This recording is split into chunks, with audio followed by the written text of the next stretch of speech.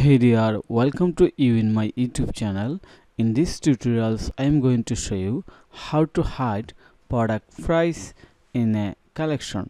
So if you are new user of shopify and started your online business with shopify platform then you can continue this video. Here i am going to share step by step easy guideline so that you can do this without hiring any developer. So let's get started.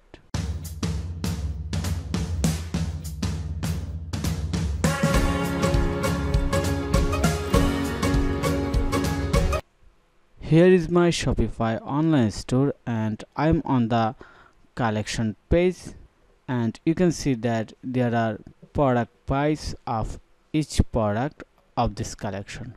And we wanted to remove the product price from this collections product okay so to do this first we have to log in our shopify admin panel.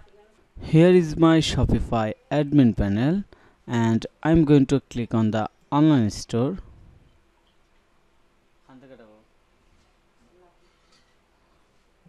Then click on the action button edit code. In the search box going to search card then open the card product dot liquid under the snippet folder. So click on this file and scroll down scroll down and remove this code. Line number render price product card product price class I'm going to remove this code and click on the save.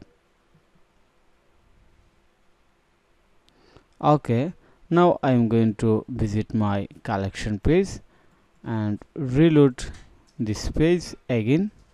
Wow looks here. We have done.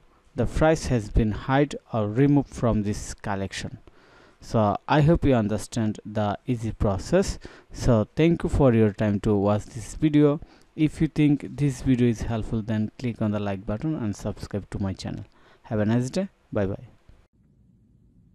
hey everyone my name is nate gallaudet i'm the owner of bacon blend and i worked with Foysal on building my shopify store he did excellent excellent work i highly recommend you working with Foysal. He will get everything you need done in a timely fashion.